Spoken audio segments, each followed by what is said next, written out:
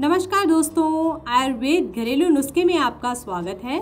आज की इस वीडियो में हम आपको बताने जा रहे हैं दांतों के दर्द के लिए कारगर और घरेलू उपाय। दोस्तों, दांतों में जब दर्द की टीस उठती है तो व्यक्ति तड़पने लगता है, या फिर उसकी रातों की नींद हराम हो जाती है। ऐसे में ना तो वे कुछ बोल पाता है और ना ही कुछ खा पाता है। दांतों में दर्द दांत में कीड़े लगने, पायरिया आदि कारणों से हो सकता है। पहला है दोस्तों, दांतों में दर्द की टीस उठने पर तीन ग्राम सोंठ पीस कर गर्म पानी के साथ फाकी ले। इसमें दांतों के दर्द में काफ़ी हद तक आराम होता है। दूसरा है दोस्तों, सरसों के तेल में नमक मिलाकर मंजन करने से दांत के दर्द से छुटकारा मिल जाता है। पर नमक एकदम बारीक पाउडर जैसा होना चाहिए।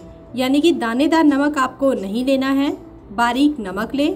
उससे अगर आप मंजन करते हैं तो काफ़ी अच्छा उपाय है ये। दांतों के दर्द से छुटकारा पाने के लिए।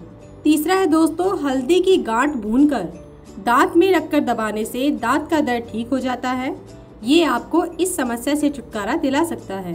अगला है दोस्तों, दांतों के दर्द के लिए अगर आप अदरक का टुकड़ा दांतों के बीच दबा लेते हैं तथा उसका रस चूसते रहते हैं तो इससे भी दांतों के दर्द में राहत मिलती है। अगला है दोस्तों, अगर आपके दांतों में कीड़ा लग गया हो तो तुलसी के रस में कपूर मिलाकर भीगी हुई रूही का फाहा रखें। इससे दांत का दर्द तुरंत कम हो जाता है।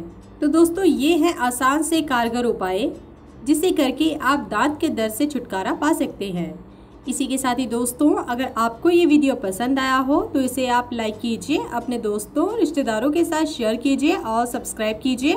साथ ही साथ बेल आइकन को प्रेस करें, ताकि नया नोटिफिकेशन आप तक सबसे पहले पहुँच सके। धन्यवाद दोस्तों।